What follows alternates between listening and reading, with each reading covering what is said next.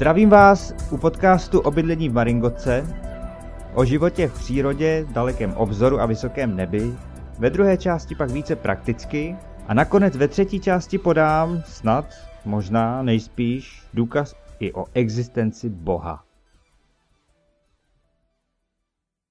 V očekávání prudké zimy, strávené v lesích bez tekoucí vody, splachovací toalety, elektřiny a topení vyjma kamen na dřevo, kteréž to bylo třeba nejdřív najít, nařezat, naštípat a usušit, co jsem se ho natahal ze svažnatých lesů kolem naší maringotky. Já, který si v lese spíš vypíchne oko o větev a ze všeho, co bzučí či alespoň leze, mám husí kůži.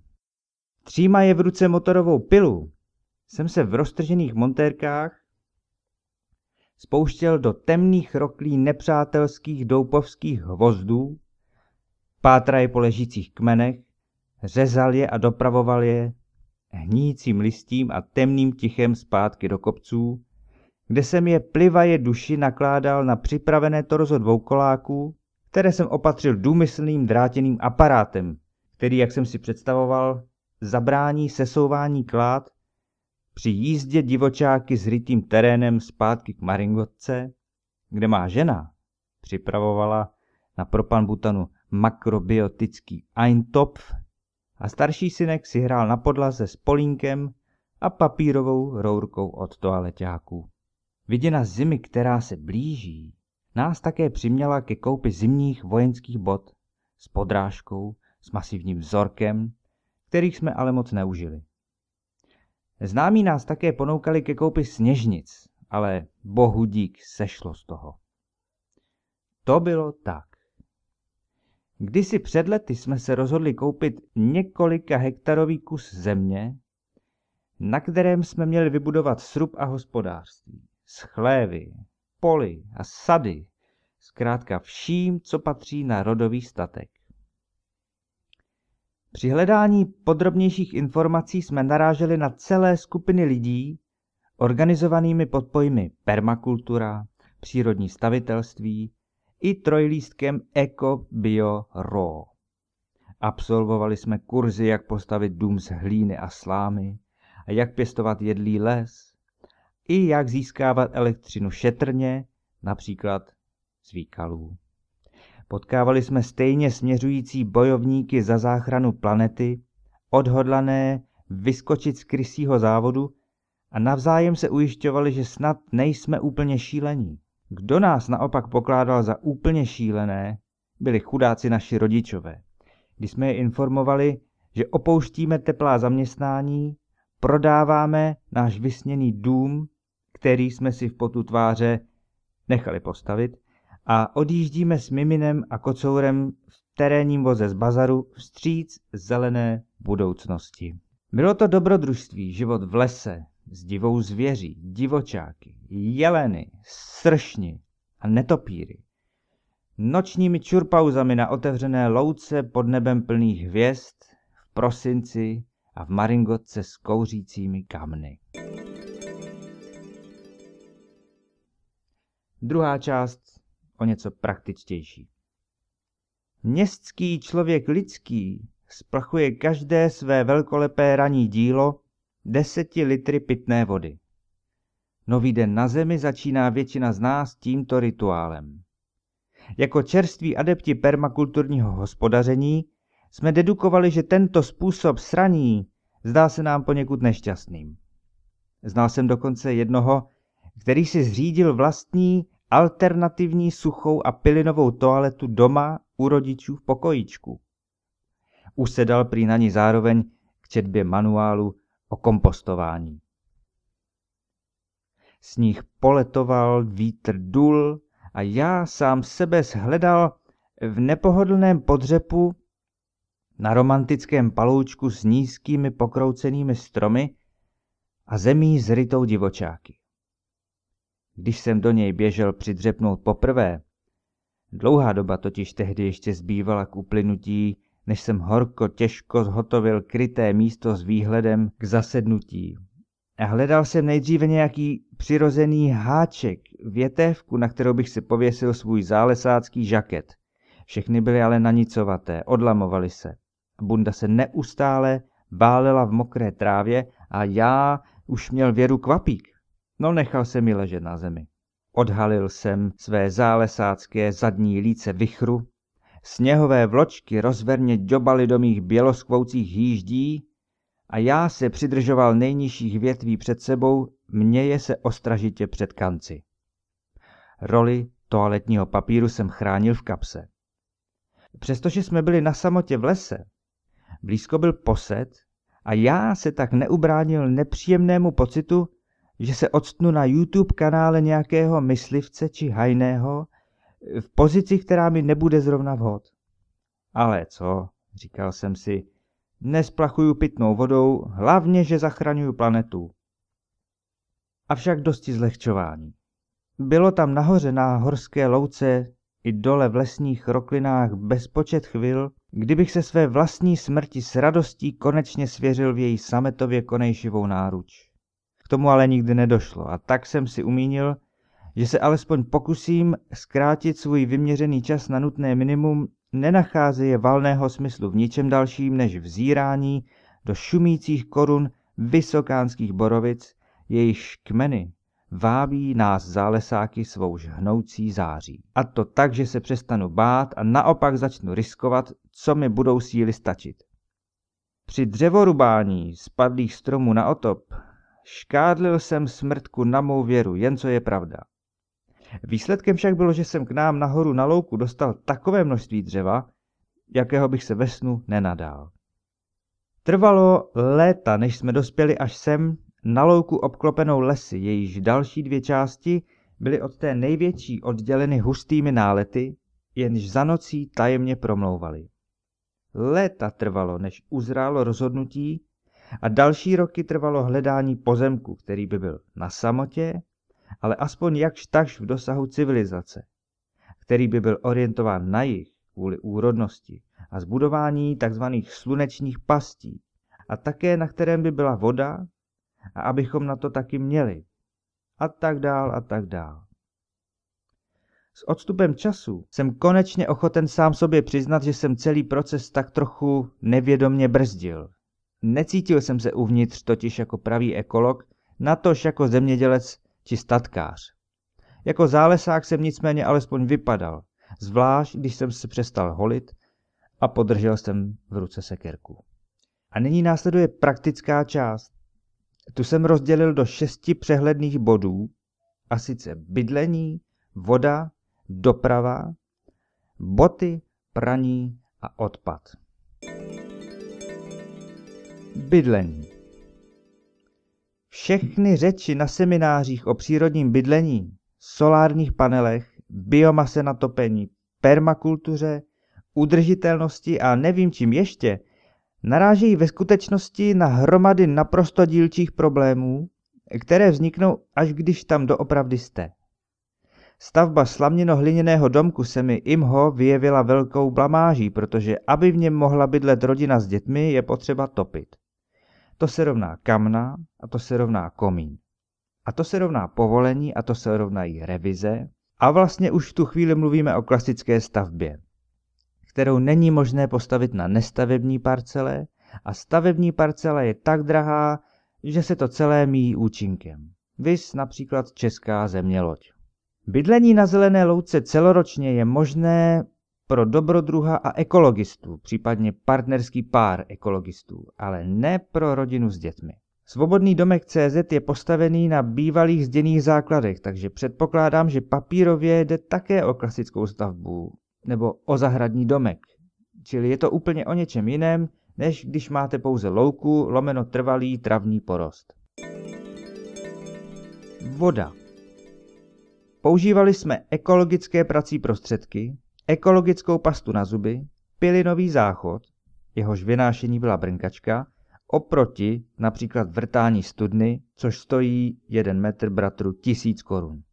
Spouštění a vytahování elektrického čerpadla na vodu desítky metrů hluboko, jeho váha plus váha 50-metrové hadice plné vody plus speciální tlustý elektrický kabel do vody, koupě elektrické centrály, kvůli pohonu čerpadla je zapotřebí silnější než běžná centrála třeba z Baumaxu, takže koupit další centrály, její benzínový provoz, pořešení zavěšení čerpadla nad studnu. Na druhou stranu lepší vodu jsem do té doby nepil. Po týdenním dešti byla ze začátku trochu kalná, po odčerpání pár litrů už úplně čistá. Chodit po lese v dešti je možná na chvilku romantika, ale když prší týden v kuse a stmívá se v pět a máte dvouletého raubíře a bydlíte v Maringotce 2,5 x 9 metrů, jejíž bezprostřední okolí se pomalu, ale jistě stává totálním bahniskem, je to prostě otrava. Je divu krásné jít za teplé noci ven na záchod. Na nebi je spousta hvězd, víc než jsem jich snad kdy viděl. Jsou tam sovy, štěkající srnci a divočáci. Ale když venku mrzne a v průběhu noci kamna vyhasnou, často s tím vším raději počkáte až do rána.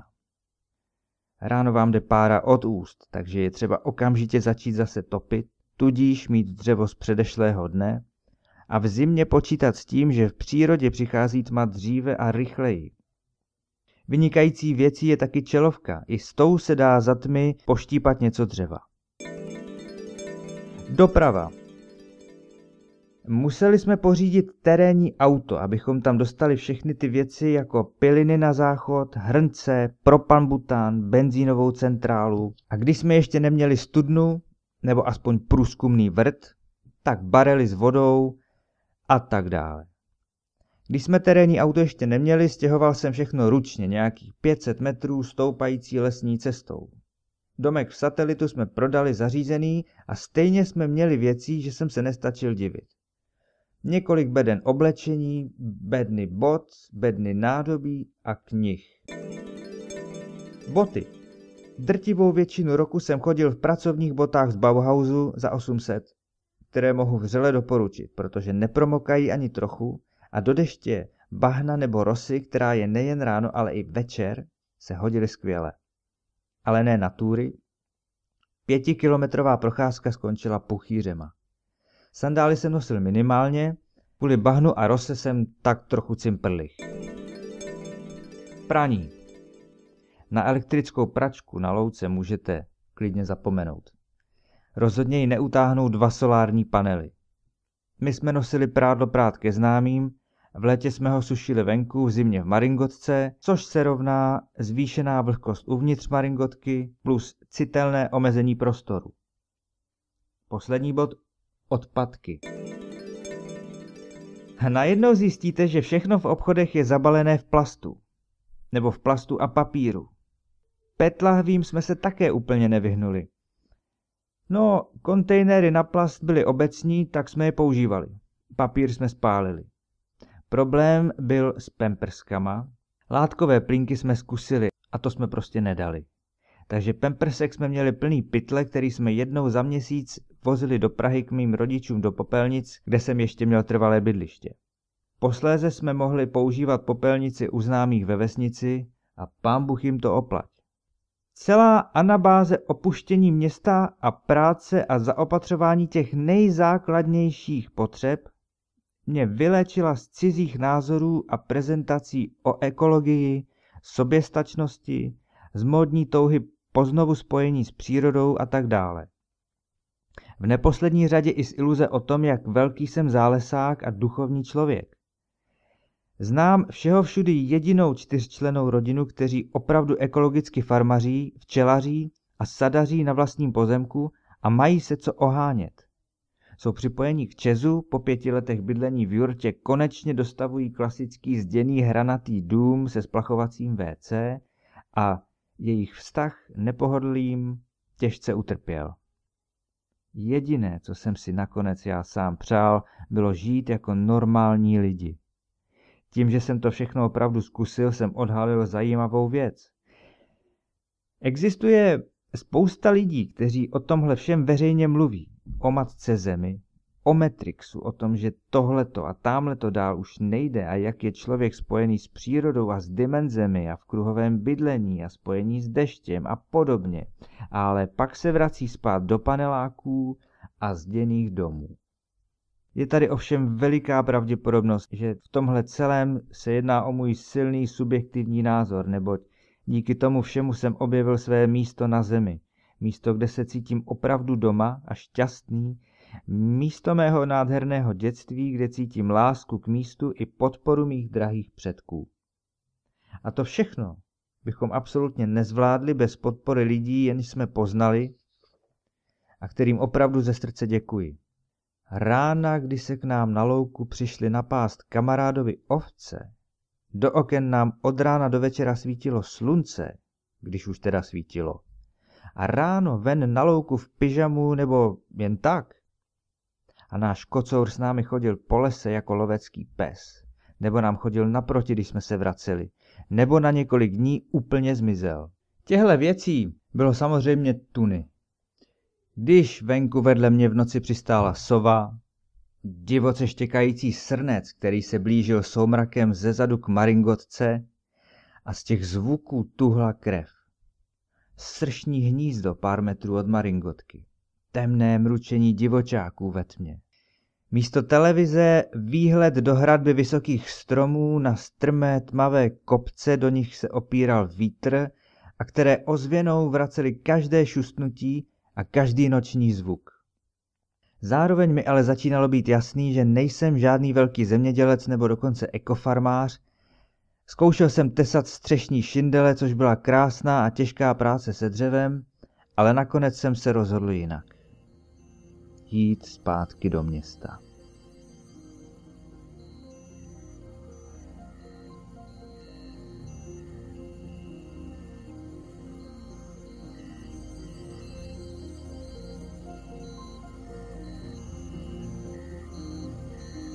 Následuje třetí, poslední část, kterou jsem pracovně, a už jsem to tak nechal, nazval Trojí důkaz přítomnosti boží. Součástí ceny Maringotky byla doprava až na místo určení. U Maringotky, jak jsem předpokládal, se předpokládá, že místo určení může být hůře dostupné a tahle nenápadná klauzule nám měla zajistit klid mysli a dopravu plus zaparkování Maringotky během jednoho dne v místě, na něž ukážeme prstem. Jsem si teda myslel. Tomto směru jsme se neměli čeho obávat a zároveň jsme se opět a zdaleka ne naposledy hluboce mýlili. Mám to dodnes před očima. Taháč táhnoucí Maringotku až od Brna, podotýkám ke Karlovým varům, dorazil ve čtyři odpoledne pod les. Čekal ho zhruba 200-metrový poslední úsek stoupající lesní cestou s vyjetými kolejemi. Optimisticky jsme s řidičem vyrazili na prohlídku trasy, žel bohu ani ne v půli cesty řidič přestal jít a zastavil se téměř se slzami upřímné lítosti v očích a řekl, milý pane, tak to vůbec nepůjde. Já jsem řekl, jakože vůbec? Řidič, jakože vůbec. Skryté obavy hryzající mne od rána v zátilku tak byly beze zbytku naplněny. Řidič prý odpojí maringotku a nechá jí stát. A nedosti na tom, při otáčení a couvání tahače právě v pozici, kdy maringotka našikmo zatarasila příjezdovou cestu, tahač chcípnul. Během chvíle, kdy jsme dumali nad situací, jsem byl nucen omluvit se několika lesnickým terénním vozům, které se s burácením otáčely a hledali jiné cesty. Lesníci byli určitě nesmírně rádi, že se jim stěhujeme do revíru a oni tak budou muset posunout hranice lovného území a opustit trvalé stanoviště na posedu číslo dvě s vyhlídkou na louku, srnce a kance. Nemaje startovacích kabelů. K mrtvému tahači jsme zavolali na pomoc známého z kabely a Land Roverem. Nic. Situace se věru nevyvíjela vůbec příznivě do té doby, než jsme zapřáhli tahač za Land Rover. Jak maličký se najednou jevil mohutný nákladní cruiser, dýmající a s napjatým lanem, zaháknutým do předku tahače. Kouřilo se z výfuku, kouřilo se od kol. Stál jsem s hrůzou, neboť téměř dvě hodiny uplynuly a to jak a zda vůbec dopravíme Maringotku nahoru do lesa, zatím nebylo naprosto diskutováno. Pak se ale tahač pohnul. Kamion byl tažen na laně Land Roverem dobrých 10 metrů zanechav v polní cestě vyhloubenou památku se smaženého štěrku. Pak mu naskočil motor. Řidičův obličej rozzářil výraz úlevy, když vyskakoval z kabiny a celoval zbrocenou tvář záchranáře z Land Roveru. Nakonec mu ještě vnutil stovku a na oplátku přijal radu, ať cestou zpátky raději nikde nezastavuje, ani až bude brát u devíti křížů naftu. Horlivě kývaje hlavou nasoukal se zpátky do kabiny a vyrovnav maringotku úhledně podél polňačky, jsme za chviličku už sledovali jen zadní světla tahače a pomalu se usazující prach cesty. A tu se náš známý, který se jmenoval a jmenuje Petr, a jestli to slyší, tak ho upřímně zdravím, ukázal jako první v tu chvíli ještě nikým z nás nespatřený a nepoznaný posel boží. Ležérně si sáhl do kapsy unavených montérek a vyloviv zaprášený mobil, našel v něm telefonní číslo nějakého si primáře nemocnice, který bydlel dole ve vesnici, a.k.a. božího posla číslo dvě. Pan primář totiž vlastnil traktor. Netrvalo dlouho, snad jen chabé dvě hodiny a usměvavý pan primář dorazil za námi podles k parkující maringotce. V situaci, vyjádřil se nadmíru laskavě jak o maringotce, tak o svém traktoru. Pomalu se nám vracelo sebevědomí a chuť žít dál.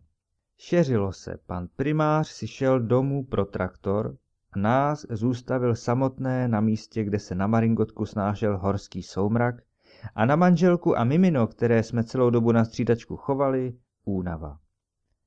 Čekalo nás ještě stoupání lesem s traktorem táhnoucím maringotku, luční parkování a zajištění maringotky nahoře na louce a cesta autem zpátky do Prahy zhruba 100 kilometrů. Necítil jsem hlad, neboť bojovný duch se ve mně spolčil s adrenalinem divoce burácejícím peřejemi mého krevního řečiště. Představoval jsem si primářův velký, krásný a nablízkaný zetor, pro který bude celá cesta hračkou. Čekali jsme dlouho, netušíc, že to, co se chystalo přijít, se navždy vrije do našich kostí. Téměř za tmy se s rachotem zjevil pan primář na něčem, co kdysi bývalo traktorem. Nyní jsme úžasle patřili na rozhrkanou a pomalu se vlekoucí hromádku plechu na vratkých kolečkách, šibalsky pomrkávajícím jedním svítícím světlometem. Nevybavuji si už samotné zapřahání maringotky, neboť můj bojovný duch jak přišel, tak odešel a neblahé tušení, které mělo záhy dojít naplnění, mě zcela ochromilo. Celý bizarní konvoj se však pohnul a ve mně byla v tu chvíli jen malá dušička. Volným krokem jsem jej následoval vzhůru, nejdříve vyjetými travnatými kolejemi se stopami po opravdových traktorech, kterým svítí oba přední reflektory a které mají motor Porsche a klimatizaci. V Unice jsem ho dohonil těsně před koncem posledního a kritického stoupání. Lesní cesta se v těch místech vynula ve vymletém korytě, jehož boční stěny byly téměř dvoumetrové, spevněné odhalenými kořeny vzrostlých buků, tvořící chloubí, kterému za normálních okolností věnuji vřelou a vděčnou pozornost. Traktor stál i s maringotkou těsně pod vrchem. Vyškrábal jsem se na stěnu vpravo a přes hřvoucí motor se snažil navázat verbální kontakt. Co je? řval jsem. Viděl jsem pana primáře za volantem, která kroutí hubou a krčí hrameny. Přeskočil jsem na kapotu traktoru a strčil hlavu dovnitř. Volal jsem mladýmu, ať pro mě přijede s traktorem, řval primář. Vraž ze zadu pod kola nějaký kameny a běž ho dolů čekat. Naveď ho sem z druhé strany. A co se stalo? Řval jsem znovu. Zasek jsem se a do kopce už to nerozjedu, křičel primář. Musí mě vytáhnout ze zhora. Seskočil jsem z traktoru a běžel zpátky dolů k autu, ve kterém čekali manželka s teď už spícím miminem. Stručně jsem jí vysvětlil situaci a běžel vyhlížet primáře mladšího. Mezitím se setmělo úplně. Po další hodině jsem ho spíše slyšel, než viděl. Dorazil už za úplné tmy a také mu svítilo jen jedno světlo. V temnotě jsem nějak naskočil k němu do traktoru a kdyby tam seděl sám pán temnot, stejně bych na něj neviděl. A neviděl jsem tehdy, že právě dorazil i posel boží číslo tři. Samá jízda na traktoru je zážitek na mnoho zimních večerů pod lampou. Držel jsem se vší silou, stoje jen na jedné noze a snažil se přeřvávat motor. Jediná cesta k nám na louku byla zablokovaná, museli jsme najít jinou a nebudu se pouštět do popisu nočního geografického dobrodružství v neznámé krajině. Snad jen tolik, že jsme hledali louku, na které jsem byl do té doby třikrát, mezi dalšími lány luk, křovin a lesů, kde jsem nebyl vůbec nikdy. A to všechno v noci. Naštěstí v noci. Zřejmě bych si za bílého dne v sandálech na nohou na podobná místa ani netroufl. Měsíc tu noc také naštěstí nesvítil a vysoká tráva mi sahala po bradu. Během jízdy mi adrenalin musel stříkat i ušima, protože, jak jsem zjistil až daleko později, měl jsem nohy od krve. Primář mladší se nakonec přece jen vyznal a terénem, ve kterém jsem se držel traktoru vší svou nevelkou silou, neboť ten se nakláněl na strany tak, že jsem chvílemi pouze vysel, trefil nakonec na louku, ze které scouval na nějakých 15 metrů od prvního traktoru, kterému stále ještě běžel motor, ale nesvítil už ani jeden světlomet. Primář starší vystoupil ze svého stroje. Řetězy máš? zeptal se syna. Jaký řetězy, jsi mi nic neřek, odpověděl primář mladší. Já jsem cítil, že mě přestávají nést kolena. Vole, to je snad jasný, než Maria, tak vem ty lana, co si přivez, no. Řekl primář starší. Mladší primář pod mě dotápal ke svému řvoucímu traktoru a za chvíli se vrátil s ocelovými lany. Zacouvej až přede mě, dolů, řekl primář starší. Nemůžu, to bych celý nevytáhl. Musím zůstat tady nahoře na rovince, abych se pak vůbec rozjel. Nemáš tak dlouhý lana, musíš jet dolů. Tak já to zkusím, třeba budou stačit. Lana stačily těsně. Tři centimetry silné ocelové lano mělo do kopce vytáhnout další traktor se zapřaženou devítimetrovou maringotkou. Oba nastoupili do svých strojů. Stál jsem stranou v lese uprostřed mezi nimi. Primář mladší se dal pomalu do pohybu. Lano jsem ve tmě neviděl. Že se napjalo, jsem poznal jen podle zvýšených otáček motoru prvního traktoru. Motor hřval a hřval a najednou mi něco zasvištělo před obličejem. Traktor polevil a primář mladší vystoupil. A vystoupil i primář starší. Ty vole, to mi musíš dát znamení, že jedeš. To lano prdlo, tě v té tmě nevidím, ty vole, řekl starší. Primář mladší vytáhl mobil s baterkou a začal hledat konce lana. Bylo přervané a roztřepené. To svaž, řekl starší primář. Jo, ale to se tím zkrátí a pak to nedosáhne, řekl mladší. Tak sem zacouvej. A to pak nevyjedu. Ale vyjedeš. Se posral, nevyjedu. Ale vyjedeš. Dáš nám znamení, otočil se na mě. A já na to šlápnu taky. Prve jsem nevěděl, že to lano už je napjatý, tak jsem nejel. Tak teď pojedu taky a půjde to. Mladší primář zacouval blíž z kopce dolů a začal navazovat tlusté ocelové lano. Vzdal jsem to. Zůstanem tady přes noc zapadlý a všichni tady zemřeme. A manželka dole v autě s miminem čekajíce a netušíce, co se tady děje, přes noc umrzne. Prožluklý život. Jestli Bůh existuje, měl by si připravit pořádnou výmluvu. Všechno je ztraceno. Snažíme se a trmácíme. Pytlíkujeme ty naše životy, jak se dá a balíme je do značkových hadrů. A stejně to nestačí. Větší televize nestačí, druhý auto nestačí, nic nestačí. Pořád jsme jen ranečky strachu, že se na všechno přijde, na ten podfuch s tím, kdo vlastně jsme, nebo vlastně nejsme. Nejsme nic. Jen se dřeme v práci, doma se dřeme s dětma a v televizi je hovno, tak jdem spát a nemůžem, protože je vedro a zítra musíme zase do práce a svět je šílený, nedává smysl a o čem to tady k sakru všechno je. Oba primářové nasedli a já s baterkou na primářově mobilu se měl mávnout, až se lano napne. To bych na něj ale musel dosvítit, abych to poznal. Ocelové navázané lano, který prdlo, když bylo celý. Co teprve teď, když drží jen na dvou uzlíčcích, to nemůže výjít. Marný, je to marný, všechno marný. První traktor začal zase řvát, pak se lano napjalo a já mávnul baterkou směrem k druhému traktorovi. A ten zabral taky.